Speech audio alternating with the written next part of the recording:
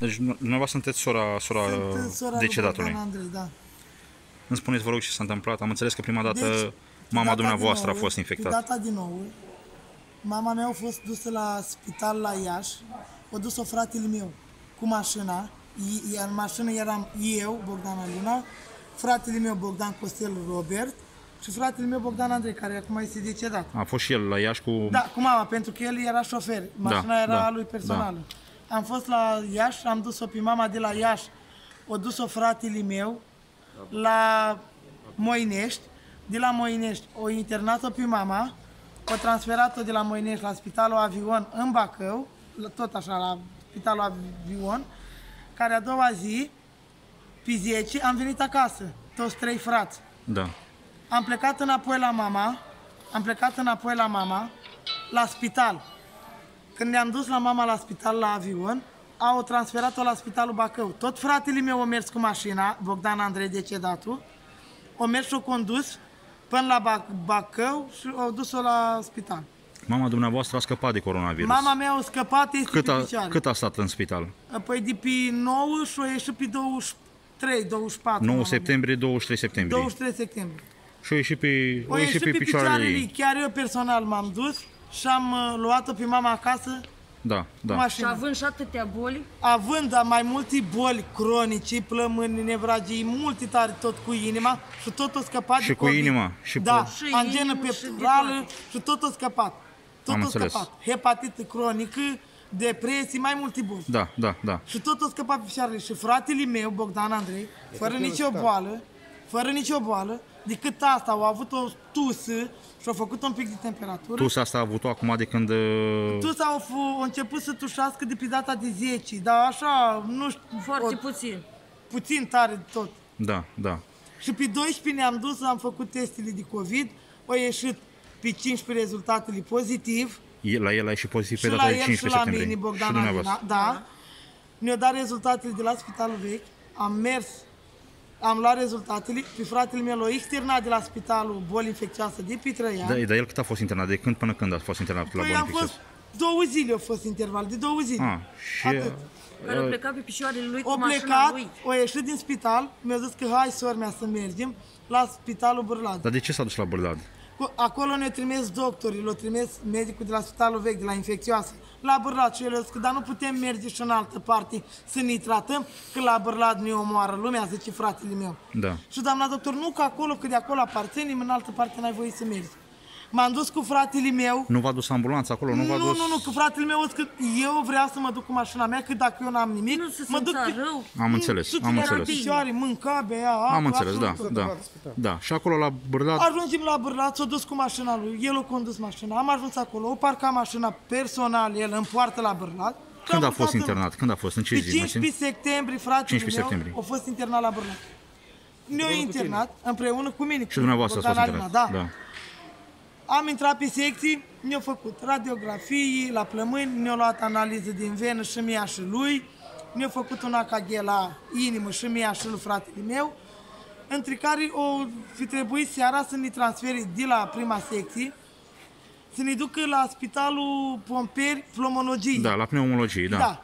Acolo când am ajuns, ne-au băgat pe amândoi într-o rezervă, că o zis că suntem frați să stăm amândoi. Da, da, da. Acolo fratele meu nu se simțea rău, nu nimica la În afară pneumologie. de... Da. N-avea nimic, decât îi lua tensiunea în fiecare seară și așa.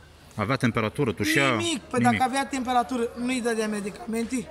Am înțeles. nu-i Deci el a trimis, fost uh, doar supravegheat. Și ad, joi, joi, să aud când ne sună doamna doctor, l-a sunat pe fratele meu, chiar a numărul trecut pe fișă, și i-a spus că domnul Bogdan Andrei, sora dumneata o să plece acasă și dumneata ai să fii transferat pe secția de ATI în partea aia lantă. Și el a zis că da, de ce doamna doctor? Pentru că acolo trebuie să stea oamenii, doamna doctor, dar eu n-am nimica. Păi- Eu nu tușesc, nu nimic, nu mai fac temperatură. Păi stați așa puțin, că pe ATI ajung doar cazurile foarte grave. Păi, și ea i-a spus lui La fratele anestezie meu. terapie intensivă Păi- ajung păi tocmai cei asta, care nu mai domnul- pot să mai respire Domnul, aproape. stați un pic. Tocmai asta au făcut. Eu zic, de ce să ajung eu pe secția de ATI? Dacă eu nu tușesc, nu mai am nimic, pentru ce să ajung acolo pe secția de ATI? Da. Mă, că așa sunt regulile, că oamenii care își vin aici trebuie... Tra... Nu, dar atunci plec și eu acasă cu sora mea. Nu ai cum. Trebuie să înțeles. pleci, că vine salvarea și te ia și te duci la spital. Și de atunci l-a dus pe fratele meu să Dumneavoastră v-ați externat și el a rămas Am singur. mai rămas o zi. Am mai Eu am rămas. ieșit vineri pe 19, pe 19. Și el a fost transferat pe ATI? Da, l-au transferat când l-au dus pe, în partea cealaltă cu ambulanța, n-am mai știut nimic de el. În partea O suna cealaltă, unde la familia- Spitalul Mare. Da, o, o suna familia pe cumnata mea și eu spus că vin aca, Raluca vine și ia-mă că mă omoară omoară. aici, de aici. O mai suna pe un văr de-a meu, pe tine, ce-o zis? pe vărul meu și eu spus că vină și ia-mă de aici că mă omoară aici, moare oamenii cu zilii. Cum, intri pe picioarele tălii, stai de vorbă, vorbești cu medicii, spune întrebări, răspuns la întrebări și pe urmă te omoară. Dumneavoastră, când ați ieșit din spital, fratele nostru era aproape sănătos. Nu tușea, nu avea nimic. Pe picioarele lui. a Pe fost picioarele lui, Normal, ATI. normal, a fost pe picioarele lui a fost ajuns Da, la pe ATI. picioarele lui. Picioarele lui Că au încă fost și transportate. portarii, portarii care era pasnici la poartă, în partea unde l-au transferat pe frate, nu știu cum se cheamă secția, eu zic că, Doamne, dă o intra pe picioarele lui și acum să iesi în, în cuștiu, cine intră aici moare lumea pe cap, spunea oameni. Deci pasnicii de la ei, de la secție, de la spital, Am de înțeles. jos, care păzau. Am înțeles. Pe ATI cât, a, cât ce perioadă a stat? Păi Cât pe a ATI l-au ținut 18 zile. 18 zile. 19 19 zile l-au ținut În pe această perioadă ați vorbit cu el? Ați mai reușit să, contact, să-l contactați? De aici Ați înainte vorbit să dumneavoastră. fie Și lunata mea. înainte am vorbit eu cu el și m-a sunat și mi-a spus că Vralucă veniți și luați-mă că ăștia mă omoară aici. O plecat. Dar în ce sens? Adică ce se întâmpla acolo de era așa A nemulțumit? spus că îi punea masca de oxigen. Forțat. care El avea aer. Era pu- puternic. Da. Și se da. Îl se da. Da. Îi se da, da. Că Ne-au fost confirmate de doamna doctor Costin și de domnul doctor Galiță, Gaiță, ceva Gaiță. de gen, nu mai știu sigur. Doamna Costin a Dar fost doamna doctor Costin a fost cauza morții cumnatului meu. Pentru că Se de suna- câte ori sunam, îmi dădea numai informații eronate. Și ne vorbea în nas și numai după placul cum vroia dumneai. Eu închis telefonul, Nu închis telefonul lui în nas. fratele meu. Uh, lui Câte cumnatul așa? meu i-a închis telefonul pentru că a văzut probabil că el ni suna pe noi și cerea ajutor și eu bloca cartela, eu bloca telefonul A, ca să nu poată să mai ca să sune. nu mai poată să iei legătura cu noi. Dar dumneavoastră, din moment ce a intrat în ATI, cât, câte zile ați mai vorbit cu el după asta? O zi. Nu? zi sau două. O zi sau două, nu Și mai după știu aia exact. Și după s-a aia întrerupt legătura. N-am mai luat legătura. Sâmbătă când am sunat să vedem ce se întâmplă cu el, nu sunt doctori aici așa, nu putem să vă dăm informații noi ca asistente. Cel puțin asistentele să vă ferească Dumnezeu, că sunt mai răli ca doctori. Dar cum Bun, a doamne, ajuns și el? cum pot să iau legătura, să știu de starea cumnatului meu, că suntem familia lui, nu? Da, e normal da, să da. știm de situația lui. Nu putem, sunați mai târziu. Toată ziua aia m-a lungit așa până seara și nu mi-a dat nici o informație despre el. Am înțeles. Dar cum a ajuns un bărbat în 34 de ani care a intrat pe picioarele lui în comă? Păi tocmai asta ne întrebăm și noi Păi cum a ajuns. tocmai de asta, mă scuzați când intervine, păi tocmai de asta dacă el nu a fost în comă a- transportat din partea aia alantă de la spitalul Băgat picioarele. uh, de la spitalul boli infect, plomologiei de la pompieri, Da. l-a dus în partea asta alantă la ATI, uh, îi spune că l-a dus în comă, dacă el s-a dus pe picioarele lui, cum a putut să inducă ei coma asta? Cum a intrat omul ăsta pe, în comă dacă el s-a dus sănătos, așa în picioare, drept, a ieșit pe ușă, că acum stăm de vorba aici nu. Bănuiți că ar fi fost intubat intenționat? Da. Să, Normal, Da. normal. Păi vorbești cu omul, Da. vineri vorbești cu omul și sâmbătă îl induci în comă, pe, pe și bază induci tu un om. Și pe fișa lui scria Bogdan Andrei, 32 de ani. Nici Și de era cum fișa 34. goală. Și Niciun goală. tratament, nimic nu era. În Era dreptul fișa goală, că fișii- știm noi, sigur. Unde se administrează tratamentul, Da. nu Nu scrie scrie nimic. tratamentul care îl face pacientului. A, Nu, deci așa nici că măcar nu noi i-a știm administrat din un surse tratament. sigure. Dar spuneți-mi cu medicamentele acelea foarte scumpe care v-au pus să, să le cumpărați. Medicamentele foarte scumpe. cumpărat. Da, care le-am cumpărat. Le-ați și cumpărat de altfel, nu? Le-am cumpărat și sunt în continuare la Bârlad, avem bonul de 43 de milioane. Costin. Sau cum o cheamă? Doamna Da. doctor Costin, da. Au rămas medicamentele acolo la Au spital? rămas la spital acolo, domnul Gaiț ne-a confirmat. Doamna doctor a spus că seara, după amiază noi le-am dus, injecțiile. Seara ni s-a confirmat că eu făcut injecția. Am întrebat, doamna doctor, vă rugăm frumos, vreți să știm și noi, ați început tratamentul lui Bogdan Andrei? Da, stați liniștiți că s-a început tratamentul. Ceea ce nu era adevărat. Al medic, Domnul doctor Gaețe, ne, ne, a doua zi ne-a informat că nu, nu este făcută nicio injecție. Păi cum, domn doctor? Pentru că noi ieri am primit confirmare că... confirmarea de la doamna doctor Costin că i-a fost administrat tratamentul. Dumneavoastră spuneți altceva, că nu i-a fost. Nu mai înțelegem nimic, ni se dă numai uh, Informații informații eronate. Ce că stați o leacă ca să, să, să verificăm dacă e, e adevărat sau nu. Trimite cineva că s-a auzat în telefon, cum eu spus, verifică și cer vezi uh, tratamentul pacientului Bogdan dacă este acolo. Vine doamna care o trimis-o și spune, da, injecțiile pacientului Bogdan sunt încă în frigider. Am înțeles. să Deci mai nu, se, înțelegem nu din s-a asta? administrat niciun medicament, nimic. După asta îi spunem lui doamna doctor Costin, tot noi am venit cu ideea cu plasmă. Doamna doctor, dar cu plasmă nu putem încerca și noi cu asta. Ba da, haideți să încercăm. Disperați, am încercat să căutăm ajutor pe Facebook, verișori, neamuri, toți, Trebuiau prieteni. persoane care au trecut prin această boală, nu? Să, să doneze Da, sânge. da, trebuia să fie... Am găsit. Ați găsit? Ați găsit? Am găsit. Da. Am găsit persoană, am fost la centru din Burlad.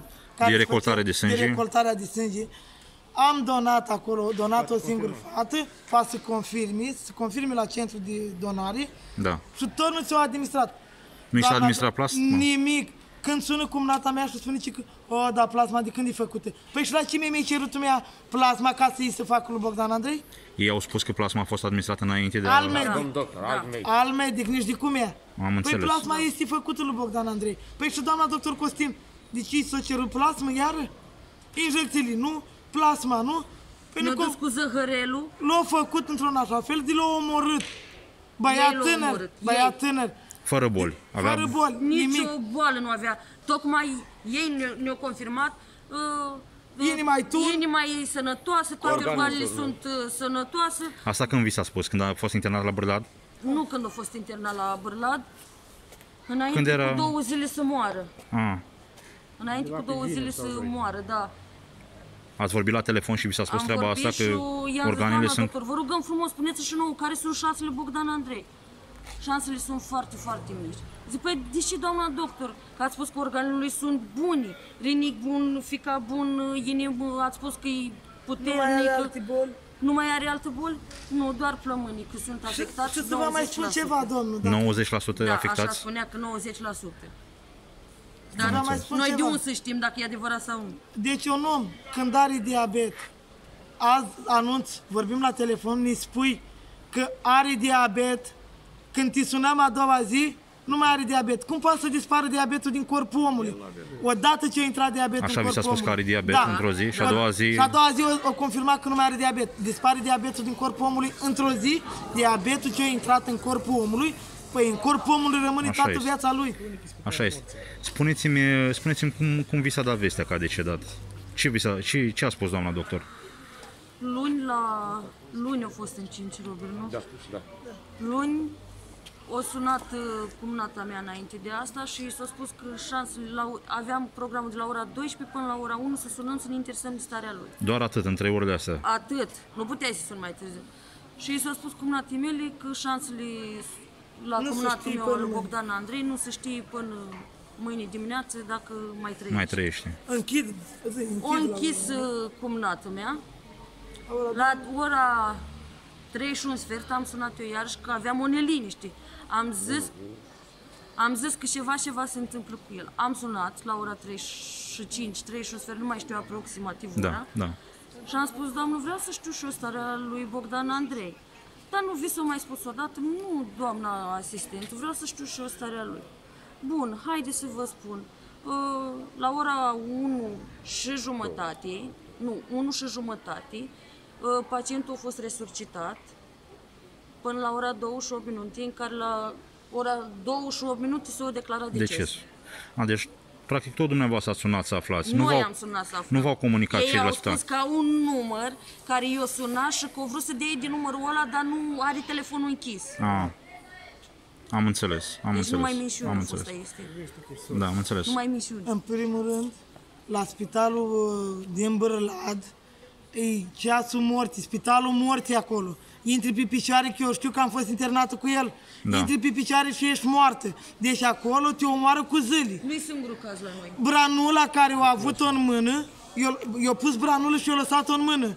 Pe sub braț, pe sub braț, mai are, știi, Firii. bra, firii, branulă, nu știu ce mai are pe acolo.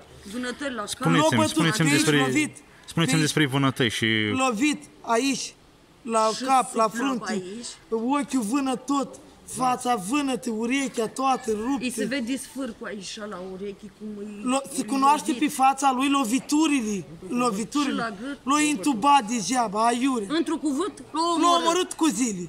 Intubare degeaba, medicii de la Bârlad. Acela e spitalul morții, Bârladul e spitalul morții. am înțeles Omoară că oameni. am Doamna înțeles doctor Costin. Doamna doctor Costin cu alt doctor și cu asistenții. Asistenții am înțeles că- îți mai ceva ca medici acolo. Am Să înțeles. se facă dreptate. Vrem Că să a omorât, se facă ta- dreptate. a omorât băieți tânăr cu viață.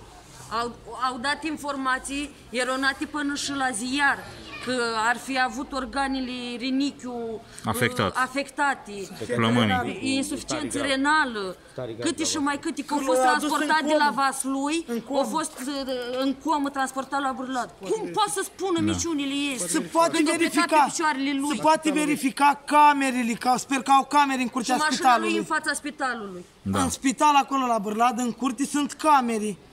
Și îl poate cere camerele de pe data de pe 15 septembrie, cum a intrat domnul Bogdan Andrei. Am înțeles. Pe, pe picioare au stat la cort, au venit medicii, ne-au băgat înăuntru acolo ca pe câini, așa, ca pe animale te aruncă. El l-a condus până la Bârlat, nimeni altcineva. El singur a condus. Da, Am înțeles. exact. Spuneați ceva că era fardat în momentul în care l-ați luat. Da, Era... este, este fardat. Este dat cu fond de Este ten. dat cu fond de ten. Pe față, până pe, pe aici și așa, pe gât, până pe piept urechile. și pe partea costală și pe urechi, peste tot locul. Este fardat. Îmi spunea- L-a Nu, ce scat ca nătuit. să nu vedem noi. Lua ce netui, domnule. Îmi spunea Pe fratele picior- lui că avea și urme la Da, inimă. are trei găuri, vânăt, se, se cunoaște pe la nas, pe aici, pe la ochi, se cunoaște cum îi înțăpa cu unghii, cum, are, cum aveau ele manicuri, doamna doctor, sau nu pot să știu, că n-am fost acolo. Da. Dar se cunoaște pe corpul lui. Îi dispicat Ca un din, porc, l-a- l-a dintre, pus ca pe un dintre sac. Picioare până pe picior jos. E cusut, se cunoaște cu sutura că e vechi. Da. E, se cunoaște cu sutura pe piciorul lui, că e vechi și cu o ață de fune, așa. Deci o cusutură, o tăietură se cunoaște când e făcută proaspătă, pentru autopsie. Dar la el era făcută de Cât mult, morfin a băgat în el ca să-l țină? e făcută de mult. Nici, nici nu l-a spălat cu unghi dat la mână. Și-a bătut joc de el. Părul lui în cap era plin de sânge. Om cu doi copii. Om cu doi copii. Nu, Eu rămas doi copii acasă, unul de 15 ani și unul de 6 ani. eu Șapte. rămas. 7 ani. nu, Nu se poate așa ceva. Acolo nu e se spitalul poate. morți. Să vrem Dreptate dreptate. vrem. Dreptate Să, să, și să-și să tragă răsplata. Doamna doctor Costin. Ea e factorul. Ia, ia e fapt, făptașa, ia, ia